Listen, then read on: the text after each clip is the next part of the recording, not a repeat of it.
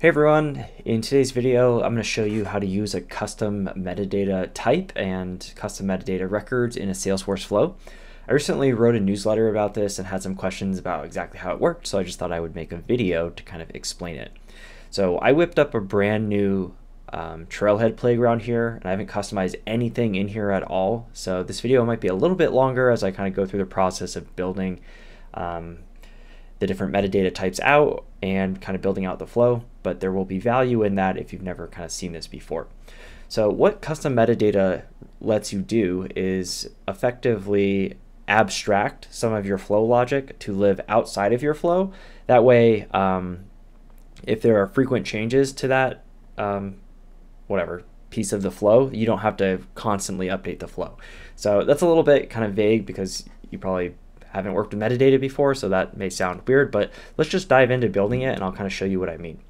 So I'm going to go into the sales app here and um, the scenario I wrote about in my newsletter, I actually um, am a consultant and I work, I'm working with uh, one of my clients right now is a bank.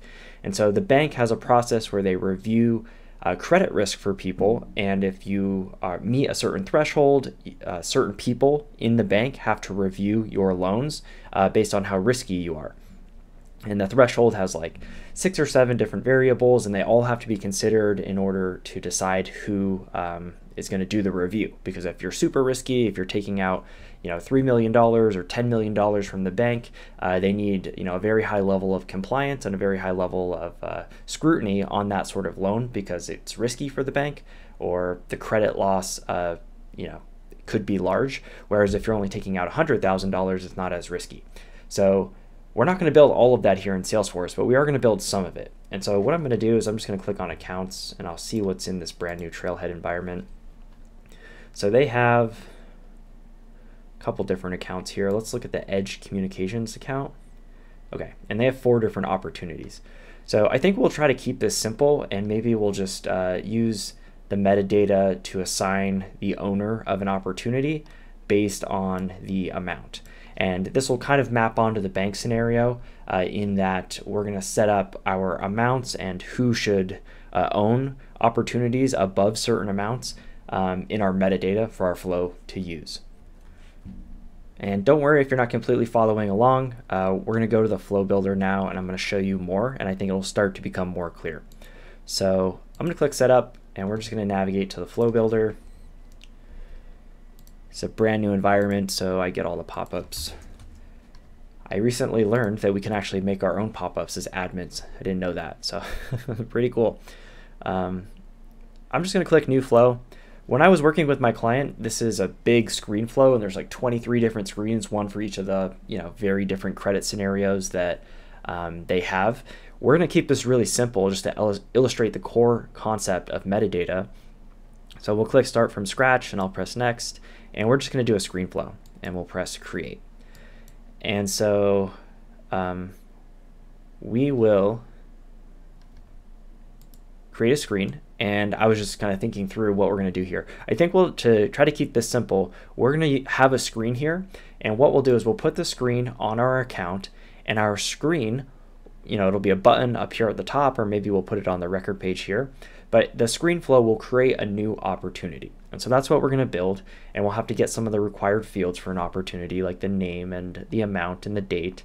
Um, and then where what we'll use the metadata for is uh, assigning the opportunity owner, um, or maybe even, um, you know, having the potential owners of the opportunity uh, have the user choose that based on the amount they enter. And so that'll kind of illustrate the metadata concept. So let's go into the flow builder here and we'll just get started with the screen uh, for the opportunity creation. You can follow along in your own environment if you want to, but I'll try to, you know, make this a little bit faster just so you can get the concept of metadata um, without necessarily having to build all this out yourself. So we'll call this create opportunity screen. And you can see I'm just clicking some buttons here. I normally hide the pause button and hide the previous button if it's um, not needed. Um, you could leave the previous on there. Salesforce will hide it because this is the first screen in the flow. And then why don't we put some display text on here and we'll say, you know, DT underscore one and that stands for display text one. So we'll say, welcome to the opportunity creation screen. Please enter the opportunity information in the fields below.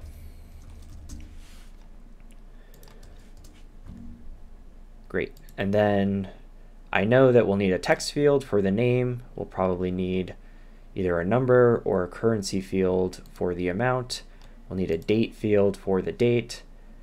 And then we can set the account. We'll need the account to create the opportunity, but we can get that without putting it on the screen. And then I don't really um, like for whatever reason, I don't like when the fields run across the whole screen, especially when Salesforce came out with the section component. I like to just make a section now. Um, I feel it's a little bit cleaner. That's a personal preference, and that may just be something I made up. But I, I like kind of having you know the two columns here, and then we can put our fields on the left and just have some blank space over here. So for this text field, we'll call it opportunity name. And then for the currency, we'll call this amount. And for the date, we'll call this close date. And I think we'll have to require all these fields so that an end user doesn't fill this out um, and, you know, forget one. So, okay, so now we have all our fields and we'll press done. And we need to create a record variable now. So let's do new. And I like to just do this. Uh, this is the record ID of the account, and this is what we'll use uh, when we're creating our button so that when the screen flow is triggered, we can pull in the account ID and then use it to do different things in the flow. For now, I'm just going to make this a text uh, data type variable with the name record ID, and we'll mark it as available for input. And the reason I'm doing that is so that uh, when I use uh, create records right now, um, I can create an opportunity. Create opportunity. We're going to make one. We're to do it manually. Be the opportunity record.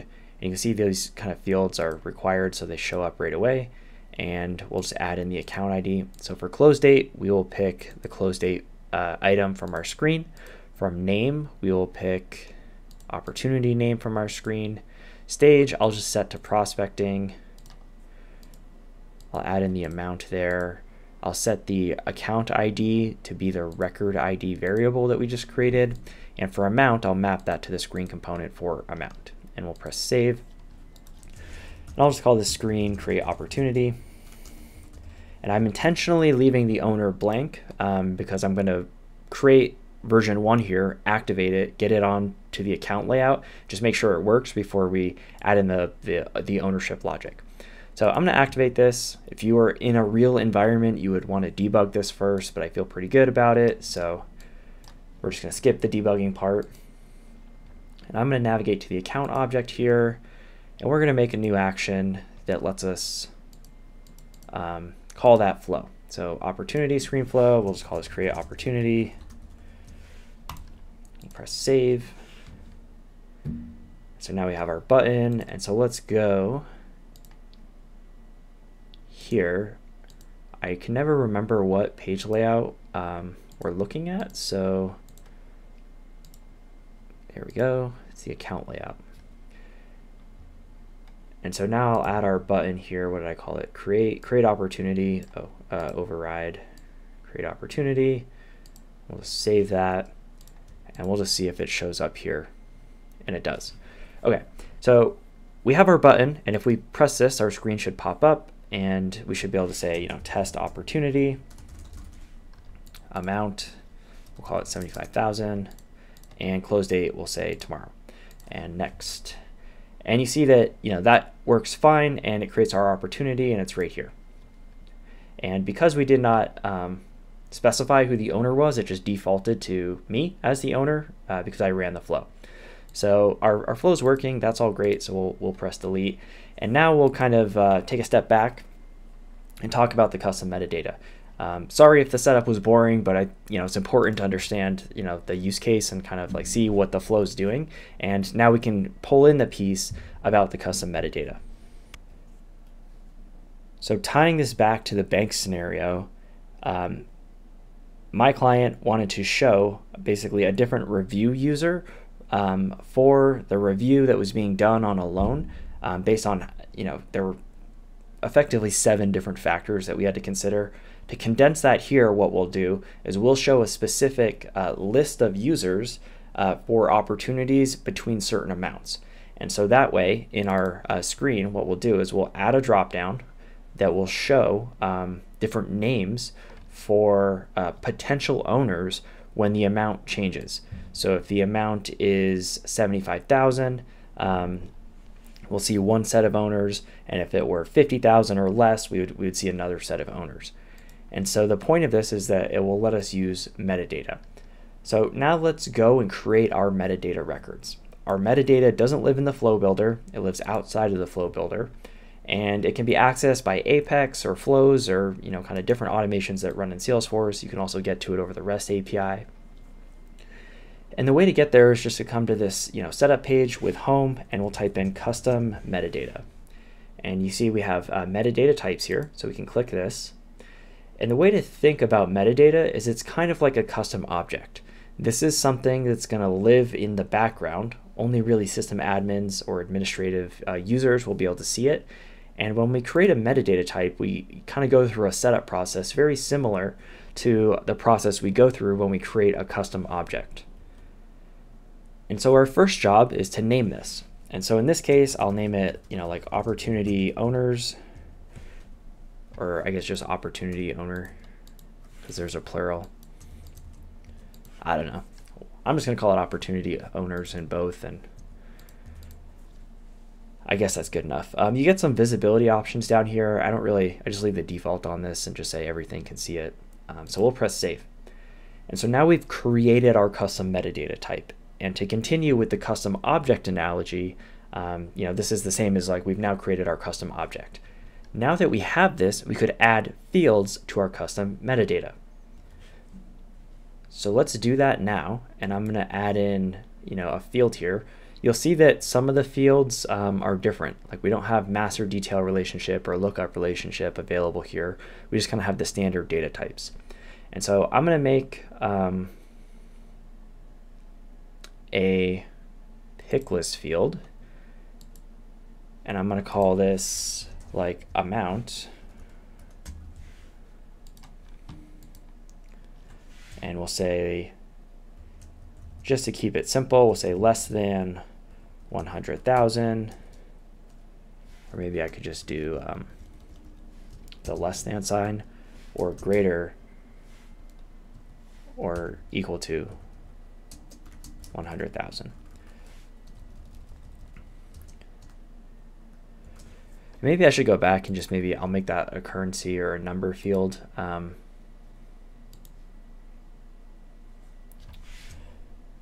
we still call it amount and I'll do length 16, decimal places 2, and yeah, we can leave that like this. Um, okay, save.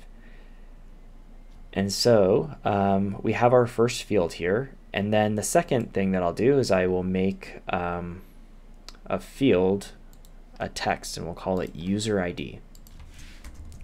So we'll call it user ID and that will be 18 characters and we'll press next.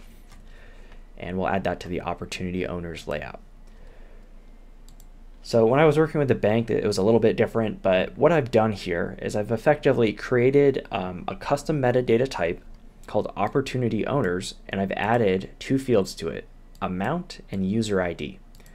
And so now what we can do is we have these two fields and we can actually create records of this metadata type. So you'll see there's a button here called Manage Opportunity Owners. So we'll click that once and this shows you a list of all the opportunity owners in Salesforce. Um, there aren't any because we just made this, but we can add a new one now. So let's say I press new. I can label this record and I'll just call it Nick Frates, which is my um, name. And maybe I'll say, uh, we'll pretend in this scenario that the amount is um, the amount that uh, I'm allowed to be the owner of an opportunity if it's equal to or less than amount that amount. So let's say I put in $100,000 here. Um, and then what I can do is I can go find my user ID. So we'll get that. And I'm going to copy this from the URL. I'm going to go back to our metadata record and I'm going to uh, paste in that user ID there and I'll press save. And so now you see that we have, you know, Nick Frates, the amount is 100,000 and here's my user ID. Great. And there's not actually a great way to go back. So sometimes you can press the back button twice and it will take you there.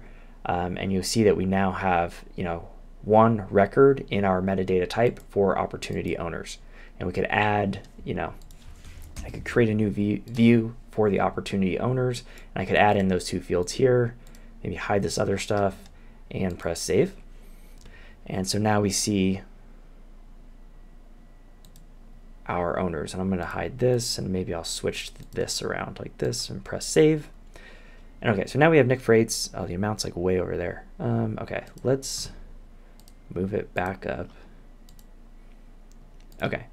I don't know why they're scrunched together like that, but the amount's 100,000, which is opportunities I'm allowed to own if it's less than or equal to 100,000, and my user ID.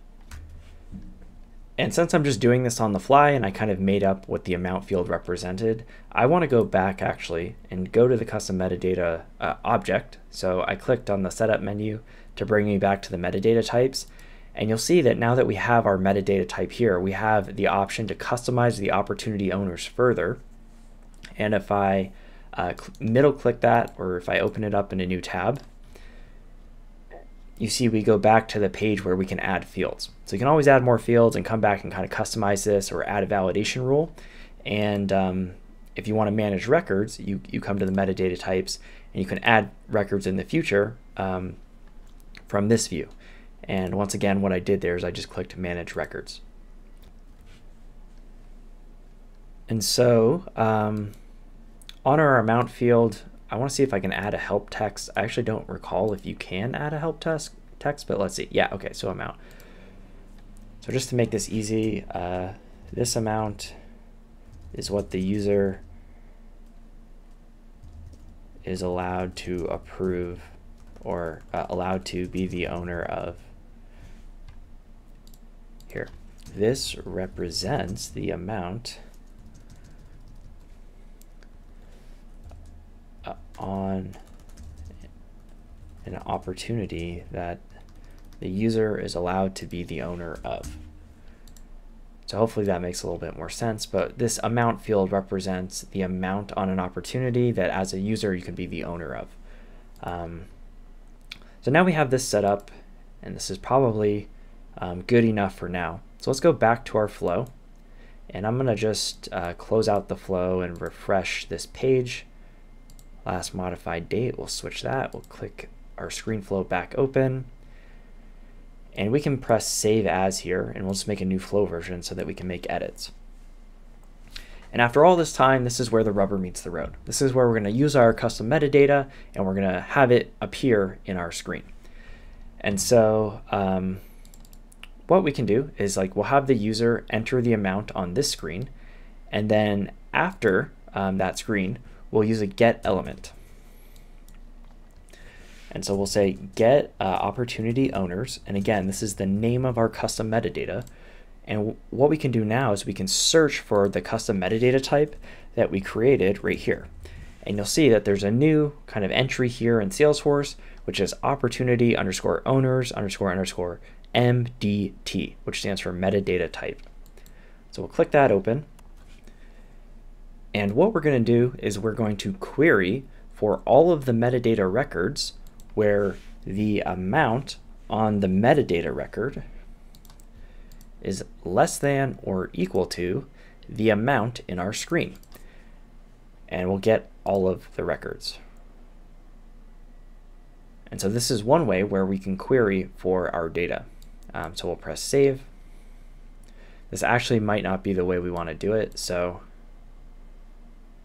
um, yeah, we're actually going to change this, but it, it does illustrate the point that we can effectively now query for the metadata. And so what I'm going to do instead is I'm just going to create another screen here, and we'll just call this like the owner screen. And um, we are going to bring, well, first we'll bring a section component here, kind of split it up in two, and then I'm seeing the pause button there, so I'm going to hide the pause button.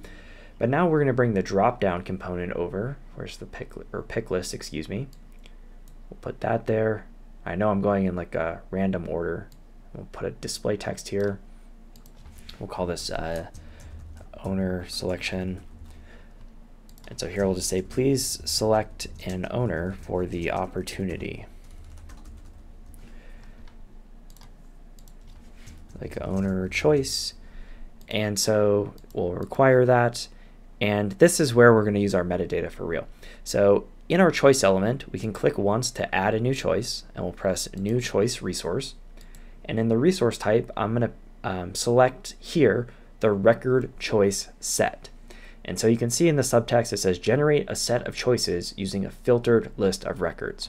So we'll click that once and we'll call it uh, owner choice. And the object will be, um, just like we did in, in our get records, it'll be the opportunity owners. And you can see when I type it in, it'll be opportunity owners underscore underscore metadata type. And just like we did in our get records, which we don't need anymore, we're going to say that the amount on the opportunity owner metadata type is less than or equal to the amount in our screen component. And so what this choice will do is it's going to say, hey, go into Salesforce, find any owner who can own an opportunity that's less than or equal to the amount that was typed in the screen, and then show that in a list. So this is our filter criteria up here at the top where we're filtering the records. And then down below, we, can, we need to provide a label for our choice. So we're just going to select the label, and that's the name of the record, of the metadata record. So this will read Nick Frates. And then we uh, need to provide a value to the flow for when the choice is selected. And in that scenario, what we'll do is we're going to use the user ID.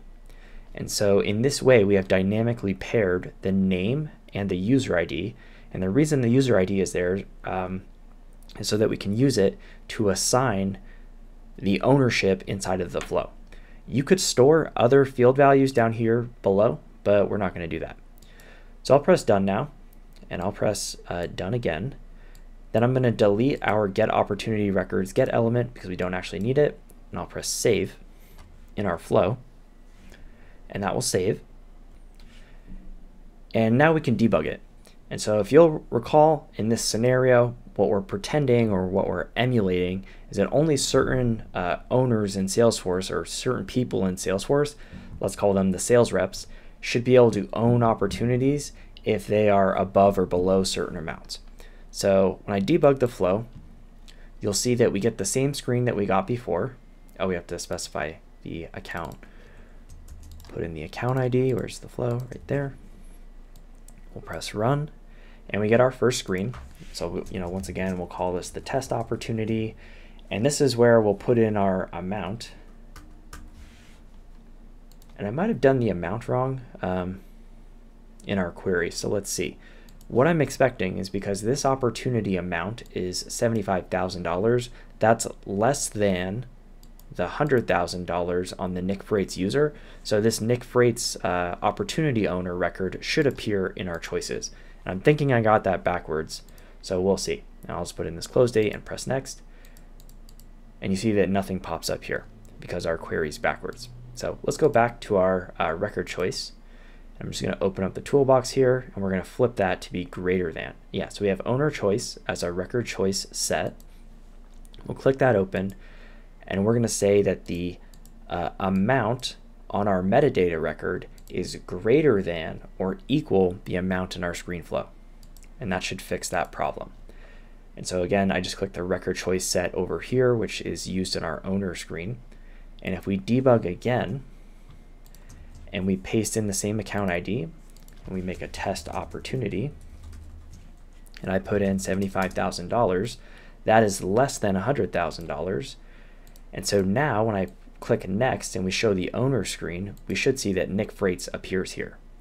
And so again, the reason that Nick Frates record is appearing here is because we have our record choice element querying our custom metadata right here, and Nick Frates is listed um, as someone who uh, is cleared to own opportunities. You know, in our logic, in our business scenario, we're saying the Nick Frates user is allowed to own any opportunity record up to $100,000. And so that's really awesome because um, now it just shows up in the flow. But you might be wondering, what's the point? Like, why is this so helpful? And the reason it's helpful is that this logic could get really complicated. Uh, so in this scenario, we're just doing the amount, but you could imagine that you might have three other fields that you have to check. Or in my bank, uh, in the client scenario with the bank I was working with, we had seven different things we had to check. And so um, rather than having to put all of that lo logic inside of the flow, you can put some of it here in the metadata type. So I could add other users here. Let's say we added Bob Apples, and we'll say that Bob Apples is cleared uh, to own opportunities up to a million dollars and we can do save and new. And then we could say Susan Apples uh, can own opportunities up to $10 million. And you'll notice I'm leaving the user ID blank because these users don't actually exist in Salesforce. But the idea is that these would be real users in your Salesforce environment, and you would just find their user ID the same way we found the Nick Frates user ID, and you would put um, their user ID right here and press save. And so now uh, you see that we added those um, new records here and we didn't change our flow at all. So no changes were made to the flow. But if we go back here and I press next again, you see that those three records or those two records we just added pop up here. So that's the power of the metadata is that we don't need to update our flow at all. Um, all of the records, you know, related to this pick list can live outside of the flow and can be managed there long term so that, you know, if the business comes back and says, "Oh, we have a, you know, a new user that needs to get added," all you have to do is add them as a metadata type or as, as a metadata record in your existing metadata type and then just specify the amount and then you don't have to update your flow. And in complex scenarios where you know the amounts could be changing or um, users might be coming into the organization or leaving the organization, or maybe Bob Apples got promoted and so now he can also handle opportunities up to 10 million. If you tried to work in a bunch of if then statements like into your flow as formulas or, or with different queries, it could get really tedious. And so the whole point of the metadata is to make your life easy in the long run. And so I hope that makes sense. The final step to get this to work would be to uh, map the user ID into our opportunity when we're creating the opportunity. So here what we would do is we would just say that the owner ID equals, and then we're going to choose that choice uh, record that we made, where is it, owner choice. So that's the screen component, that's the owner choice. And again, what we did there is you can see in our record choice set over here on the left, uh, we said that the owner choice record no matter who is selected, we're going to store that user ID value um, based on the field in our metadata type. And that's how you kind of connect the two. Uh, that's how we connect our opportunity owner metadata record with an actual user so that we can map an actual user into the owner ID field in our create opportunity uh, record or element in our flow. So I'll press save. I'm to activate this. And if we go all the way back to Edge Communications and refresh this page, um, and then we press create opportunity, you know, we can do it for real. We'll say test opportunity. And if I put in the amount of $750,000, uh, the Nick Frates user will not appear, or the Nick Frates opportunity owner will not appear, and we should just see Bob Apples and Susan Apples uh, whose amounts in their record are above um, 100,000. So we'll press next, and that's what we see. And so, you know, this was a kind of good overview of custom metadata. The scenario is a little bit flimsy. Like you could probably, if these were your only requirements, is to have an amount field, you could probably just put that amount field on the user record and do a query that way. But sometimes you're um, your uh, business requirements have something that you know it's not even a salesforce object at all. It could be something like an insurance policy or like a lead assignment criteria or a tax um, policy in the state that you live in. And in those scenarios it can be really helpful to have uh, the metadata um, abstract away or hide um, all the complex logic from the flow and have it live in those metadata records where you can change them, you know, whenever you want as the admin, and then you can leave the flow alone. Um, So anyway, I hope this was helpful. I know this video is a little bit long. We kind of started from the bare foundation and then came all the way uh, through building a ScreenFlow and you know how the metadata type works. And I think that was really important for you know just understanding this whole process. So thank you uh, so much for watching. And if you have any questions, feel free to leave them uh, in the comments below. Thanks so much.